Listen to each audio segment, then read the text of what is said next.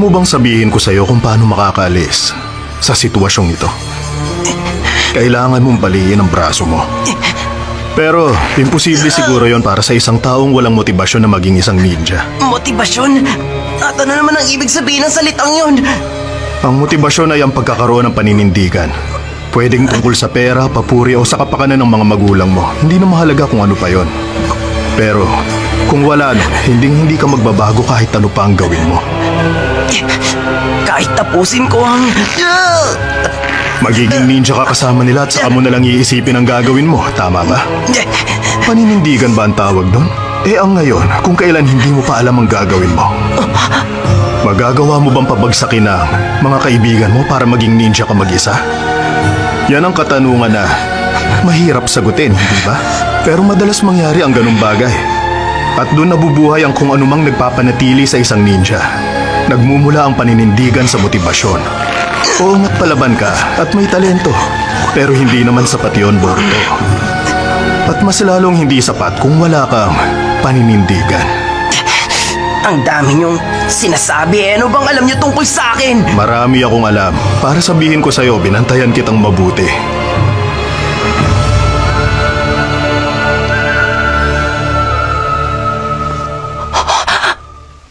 Ang paninindigan ng ninja. Ikaw si...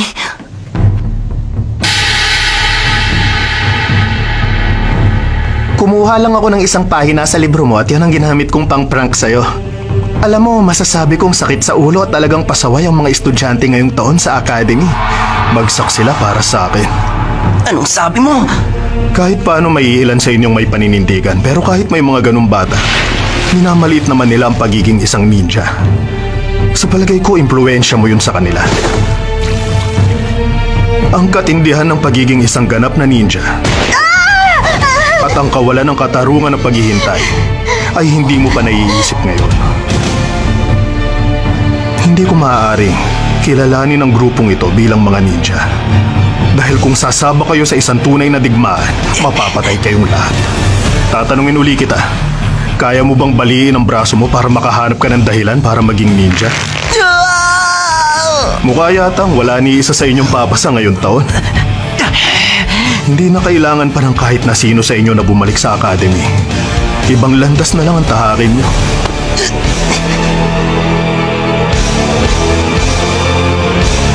Isipin mo na lang na isa yun sa katindihan ng pagiging ninja.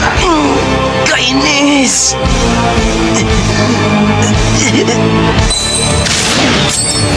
라이턴 헤비 미가 쏠지 으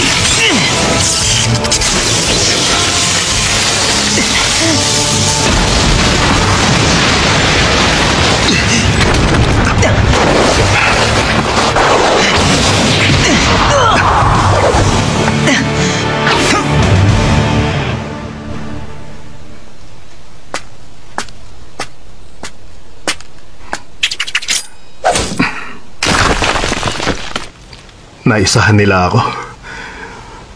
Pero naisip ko, ano naman kaya ang susunod mong hakbaang Boruto?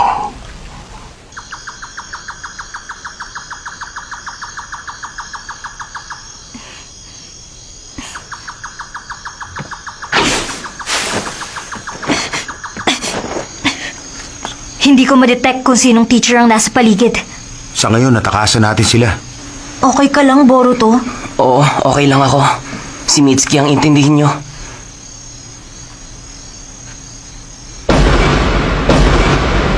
Huwag kang masyadong mag-alala. Napakagaling ni Wasabi pagdating sa medical techniques. Kahit sinasabi nilang hindi yun para sa akin. Maraming salamat, Wasabi. Kaasar!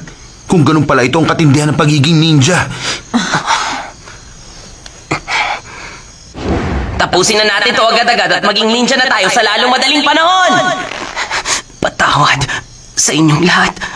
Kasalanan ko ang lahat ng to. Ano bang sinasabi mo dyan? Iniisip ko na kapag magkakasama na tayong naging ninja, saka ako iisipin ko anong gusto kong gawin sa buhay. Pero hindi pala sapat ang plano kong yun. Sabihin mo, yun bang dahilan kaya hindi ka nakapalag, Boruto? Hindi ko kayang baliin ang sarili kong braso. Ang braso mo? Sabi ni Tandang Kakashi, sakit sa ulo ang klase natin at yun ay dahil sa akin. Bakit mo? Tama na, Iwabe! Tama na, huwag kayong mag-away! Bakit ka ba nagagalit sa akin, Iwabe? Ito talaga ang gusto nila mangyari, ang mag-away-away tayong lahat. Tumahimik ka. Hindi ako nakikipag-away. Ano ba pinagsasabi mo, Boruto? Nasakit kami sa ulo at mahihina dahil sa'yo? Huwag mo kaming maliitin. Sasabihin ko sa'yo to at kay Master Ika-anim. Kung hindi dahil sa'yo, baka hanggang ngayon nasa isang sulok pa rin ako ng classroom natin. Nagmumukmuk at umaasang uulit sa isang taon. Ikaw ang dahilan kaya umabot ako ng ganito kalayo. Nakausad na ako tapos minamalit mo pa rin ako. Nakapagdesisyon na ako. Magiging isang ninja ako kahit ano pa mangyari. Tinulungan mo akong umabot ng ganito kalayo. Kaya hindi pwedeng malitin mo ako. Tama naman, hindi ba? Wala ako sa kanilalagyan ko ngayon kung hindi dahil sa'yo, Boruto. Ako rin. Alam mo kung wala ka rito ngayon, Boruto, baka wala na ako sa mundong to. Gusto kong bumawi sa'yo ngayon at ganun din sa iba gamit ang buhay at kapangyarihan ko. Kaya nga, gusto kong maging isang ninja. Ang klase natin ay puno ng mabubuting tao. Masyado kang mabunganga. Pero inuuna mo kami. At ginawa mong lahat para matulungan kaming makatakas.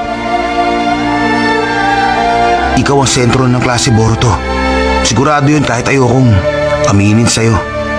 Ang totoo, mataas ang tingin namin lahat sa'yo. Idol ka nga namin eh. Tapos ngayon iisipin mo masama yon? Pero, ako ay isang... Uy, Mitsuki! Okay ka lang ba? Kaya ko to, Boruto. Patawarin mo ako, Mitsuki. Ba't ka humihingi ng tawad? Ginawa ko naman ang lahat ng ito kasi yun ang gusto ko. Ito ang unang pagkakataon na may ginawa ko para sa iba. Kung hindi kita inobserbahan, hindi ko maiisip na gawin yon. At ngayong nagawa ko na, nalaman kong masaya pala. Kaya okay lang na nasaktan ako. Maliit na bagay lang to. Mitsuki.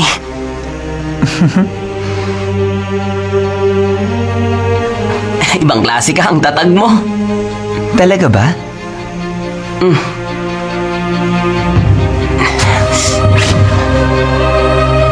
Okay, nakapagpasya na ako.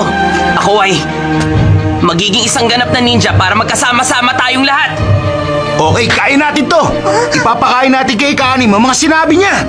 Pero paano, Iwabe? Isa-isa na tayong nalagas, tayo na lang ang natira. Yung tungkol sa bagay na yan. Nagtaka ako nung una. Pero bakit pa tayo binigyan ng time limit na 24 hours? Hanggat suot natin ang bandana, hindi ba dapat magpatuloy tayo? At dapat gawin natin ang lahat na makakaya natin? Oo nga, tama ka. Hindi nila kinuha mga bandana natin nung natalo nila tayo. Tama, kahit nung nawalan tayo ng malay kanina. At kahit nung sugatan tayong lahat, hindi pa rin nila tayo tinuluyan. Posibleng sa mga oras na to, ang mga kasama natin ay nasa... Huwag ka mag-alala, sigurado akong okay lang tayo. Paano ka nakasiguro? Tungkol sa paggawa ng desisyon ng test nating ito. Pero tandaan mo, sinabi ng mga teacher natin na hindi ito ordinaryong exam. Nakalimutan natin kasi nakafocus tayo sa practical application. Doon gumagana mga trick question. Hindi tanong ang mahalaga kundi kung paano natin yung sasagutin. Totoo nga na hindi ito ordinaryong exam. Para ito sa kapakanan natin. Daig na maaga pang masipag. Bukod doon, At bukod doon, iisa lang ang bell. Ibig sabihin nun, tama! Sama-sama tayong papasa sa exam na to!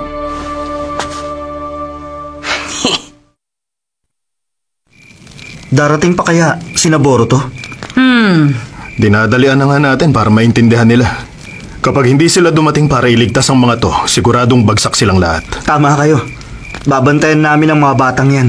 Sige na ika-anim, mag-relax ka na lang muna at magbasa ng Icha Icha Paradise. Ilang beses ko nang nabasa yun, memoryado ko na nga eh.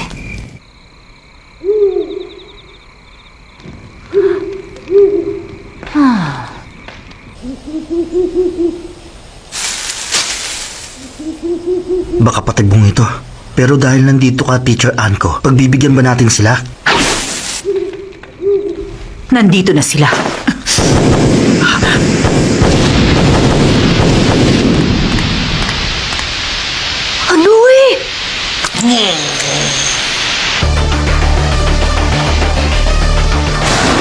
Una, ililigtas muna natin sila.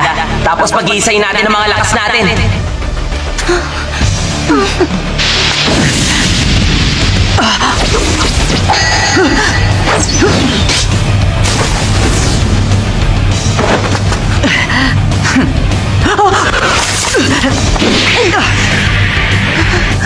Metal at Wasabi, kayo ang pinakamabilis sa buong klase. Guluhin niyo sila. Gamit ang bilis niyong dalawa. Kumilos na tayo, Metal! Nimpo! Neko Kaburi!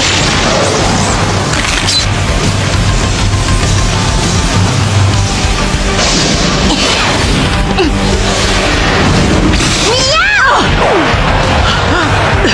Kono Senpu!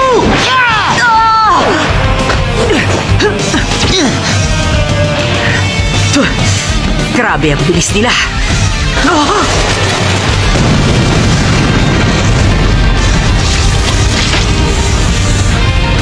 Sabi na isa lang siyang clone.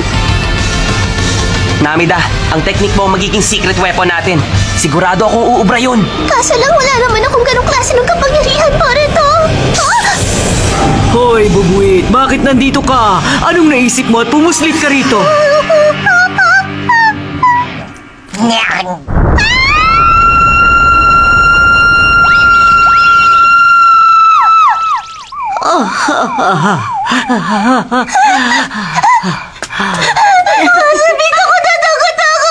Ay, grabe, muntik na ako ron. Akala ko katapusan ko na.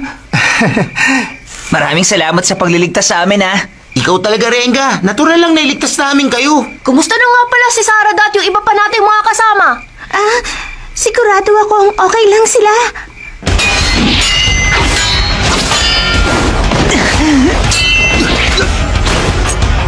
Dalawa na kayo pero yan lang ang kaya niyong gawin?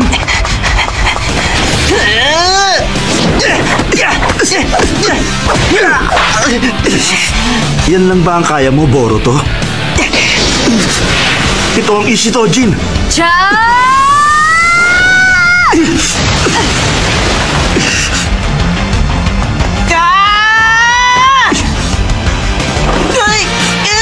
Pasensya ka na sa akin, Denki. Ang kalaban mo ngayon ay walang iba kundi ang... Kailan nangyari yun? Yan kasi, hindi nag-iingat eh! Pabayang kuya ko na Hamaru! Gumamit sila ng Hengi technique. Pero paano nila nagawa yun sa target? Oh? Genjutsu. Tama. Ginawa ko pa rin kahit hindi ako sigurado kung uubra yun sa inyo, teacher. Masyado ka nakapokus sa akin, kaya yan tuloy. Naisaan niyo ako ron. Astig talaga ang Sharingan at pagka madiskarting na mana mo kay ikapito. Oy! Dahil nandito ka na ngayon, Suru, ibig sabihin ligtas kayo lahat sa pagsubok. Sa ngayon nagsimula na silang harapin si Ika-anim. Ayos! Tara, sama-sama nating hulihin ng matanda!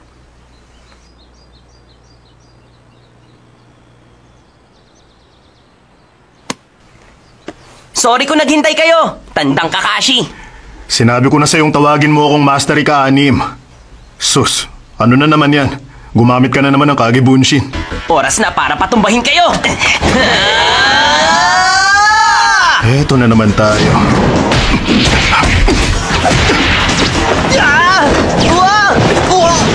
Hanggang apat lang ang kaya mo, di ba? Teka, sandali lang. Ano to?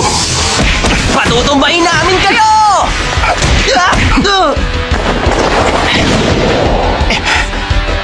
Henge technique?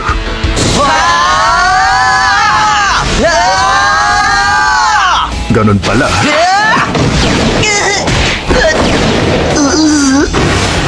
Ginulat mo ako, pero discarding pambata pa rin yan. Hindi ko lang inasahan, yun lang.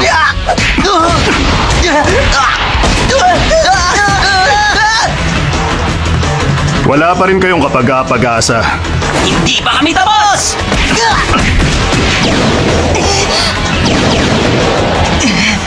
Pinakinggan nyo ba kahit isa sa mga sinabi ko? Naintindihan naming lahat. Hindi, wala kayong naintindihan kahit isa.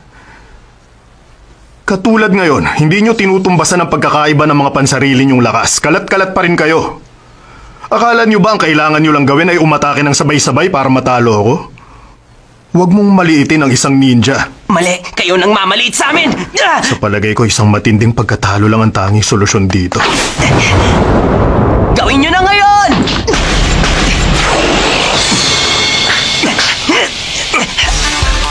Fuinjutsu.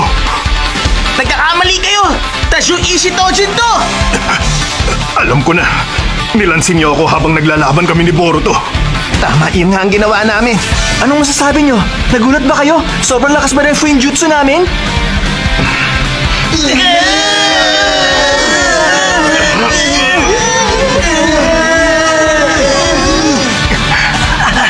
Bilis, Boruto! Kunin mo ang bell! Dali, hindi na namin kayang tagalan! Hoy, Boruto! Bilisan mo! Alam kong alam nyo! Ah! Lagot na, hindi maganda to. Shiden!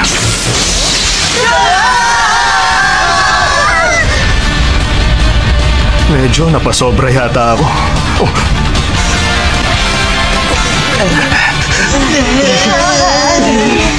Hindi pwedeng wala akong gawin na kahit ano. Habang minamaliit yung lahat ng mga kaibigan ko! Kahit ano pa mangyari, magiging ninja ako! Ganun din ako! Magiging ninja rin ako! Ako rin! Ako rin! Ako rin! Ako rin! Magiging ninja ako! Ako rin! Ganun din ako! Ako rin! Magiging ninja rin ako! Opo, syempre naman! Ako na nga rin kahit abala to. At ako naman magiging Hokage barang araw. Ako naman, mananatili dito. Hindi ako aalis.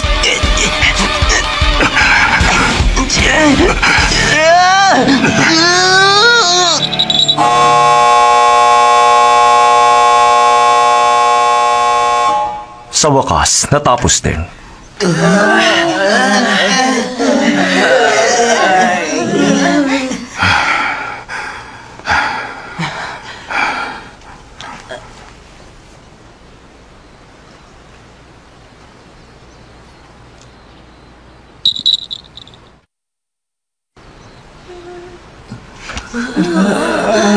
ano? Okay na. Tapos na ang Genin exam.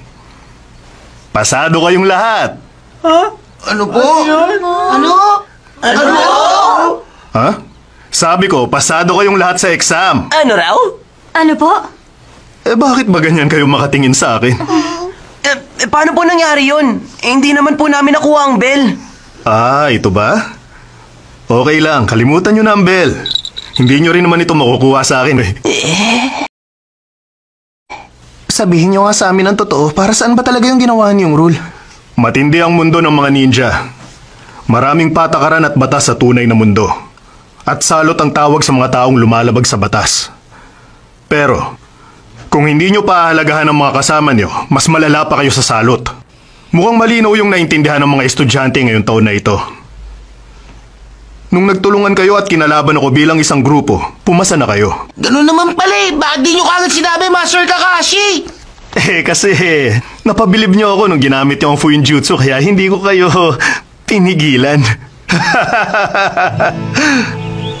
Sa exam na ito, bagsak kayo kung pinabayaan nyo ang isa't isa. At pasado naman kayo kung nagsanib puwersa kayo. Yun ay dahil sa tunay na misyon makaka-encounter kayo ng maraming paghihirap. At para malampasan nyo ang mga yon, hindi nyo dapat hayaang masira ang samahan ninyo. Napakahalaga ng desisyon pero... Anong problema? Huwag kayong mag-alala, patapos naman na ako eh. Okay lang naman, Sir Shino. Sige lang po, ituloy nyo lang. Sobrang pagod na po kami para magsalita. Ay, naku naman, ang mga batang to talaga. Magaling! Maganda ang ipinakita niyong lahat kanina. Release! Ngayon, mga geni na kayong lahat.